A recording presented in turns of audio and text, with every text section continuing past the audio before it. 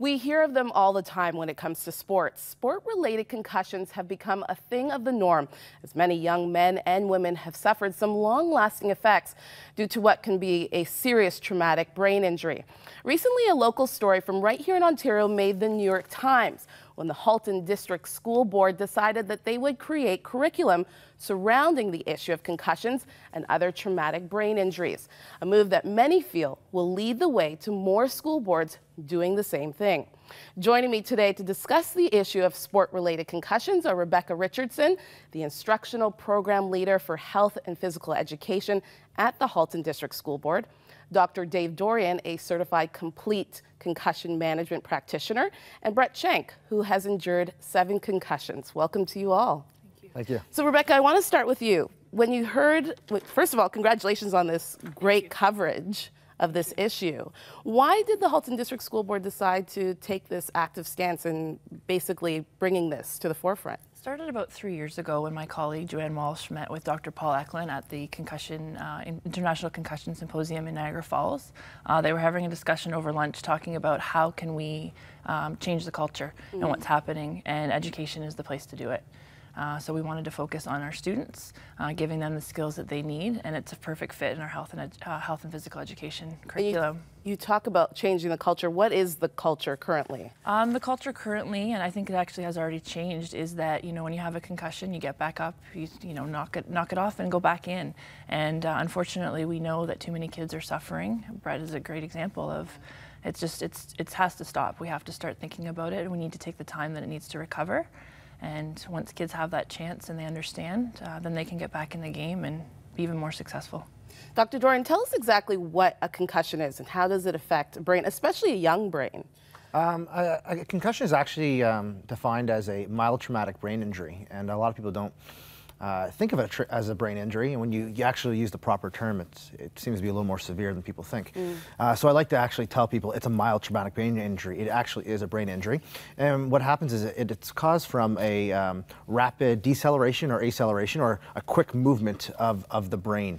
Um, if you think of uh, your brain made up of millions and millions of, of nerves, uh, called neurons, and they're they're long and they're elastic. They almost look like long strips.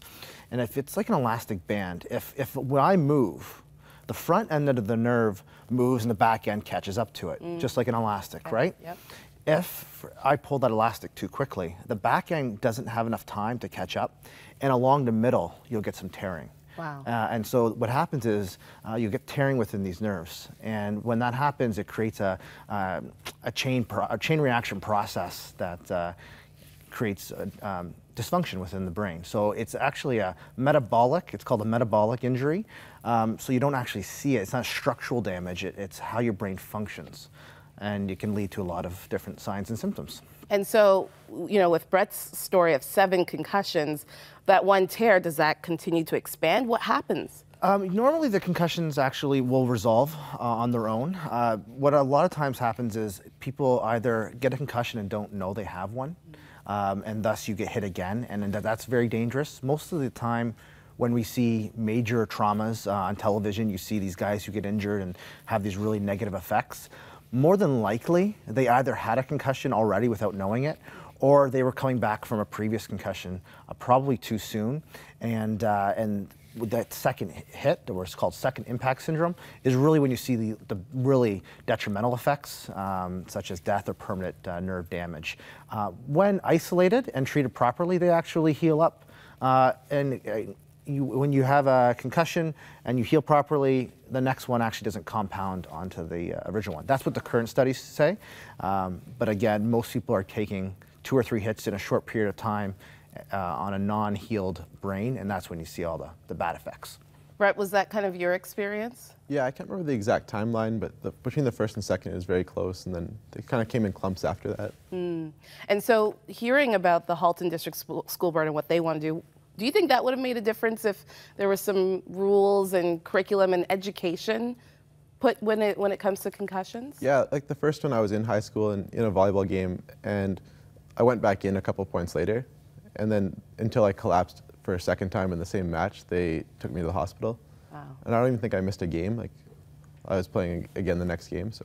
Was there? Did you feel pressure to go back, or why? Yeah, like uh, we weren't very deep in the position I played, and so we just didn't have sub- substitutes for the position I played. So, yes. Yeah. So Rebecca, when you hear Brett's story, that's kind of what you want to stop. We want to prevent that, Yeah. right? We were in the uh, intervention phase, always dealing with kids that had concussions, and now we want to go back and, and educate kids as well as their parents. Um, and part of our curriculum is to help those kids problem solve and have advocacy skills for themselves and others. So if it's not them that's happened to, but a teammate, that they can say, no, I think you need to get checked out. So uh, in the article, um, there's a lot of mention of reversing the peer pressure. Correct. Talk about that. Right. Um, so it's making the kids more aware and take more accountability for themselves. Um, and also part of our, our education is with the teachers and our coaches, and they understand the detriments that this can have, especially on children. Uh, we see it in the classroom, and that's where it's been really affecting our students. So we've even taken it back to that return to learn piece, where kids are affected from playing, but when they come back to the classroom and are still suffering co- from concussion systems, they're not learning.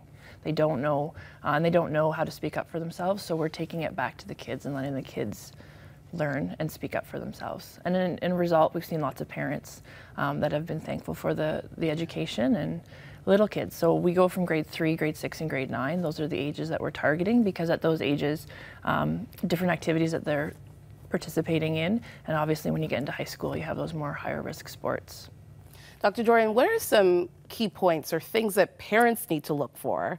You know, I mean, many uh, many parents have their children in several activities.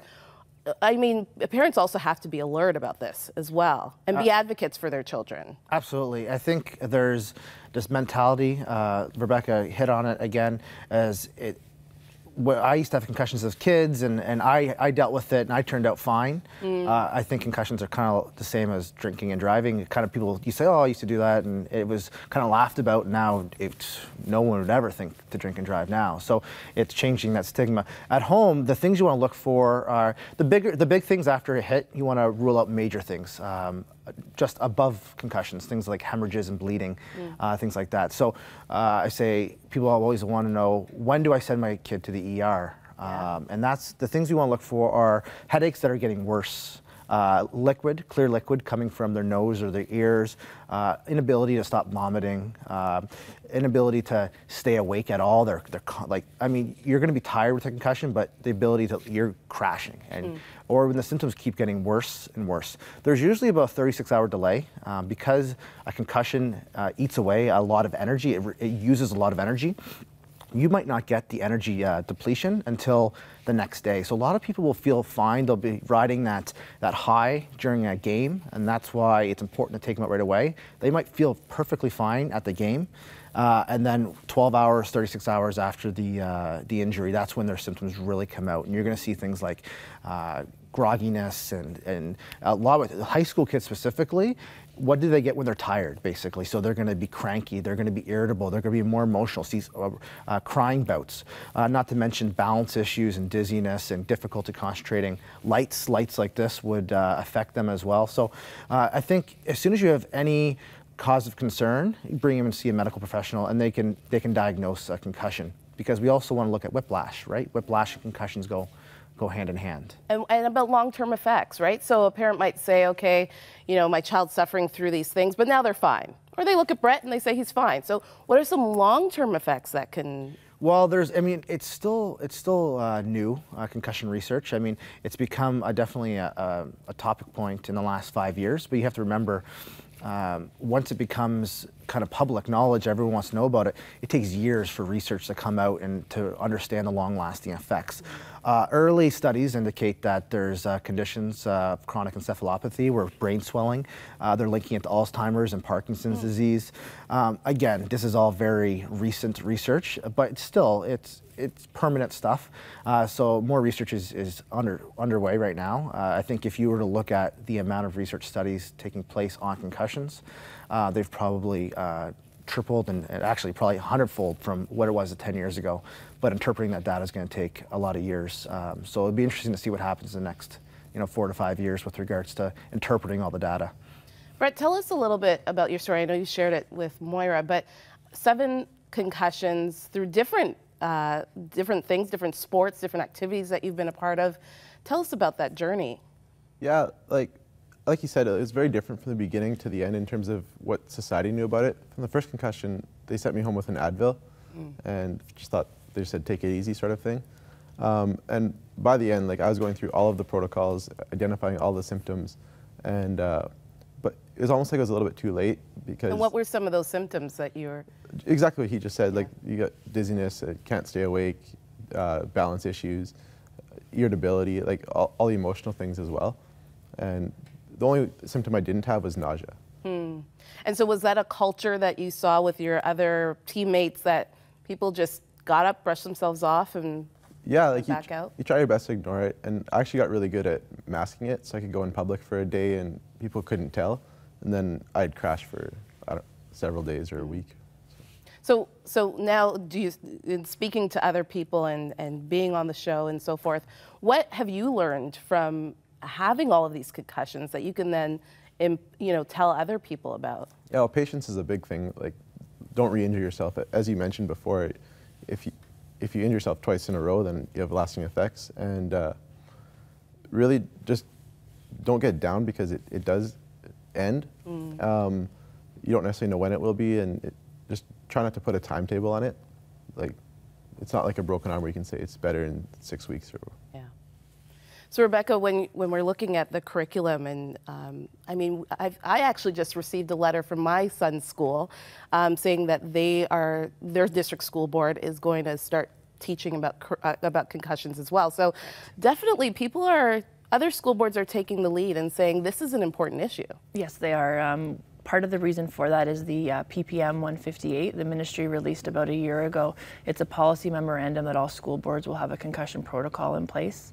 Uh, and that is looking at uh, not only the identification but the management. So we used to just look at kids coming back to physical activity. Now we're looking at the return to learn. So kids that are diagnosed with concussion, when they come back to school, they're going to be on a modified program.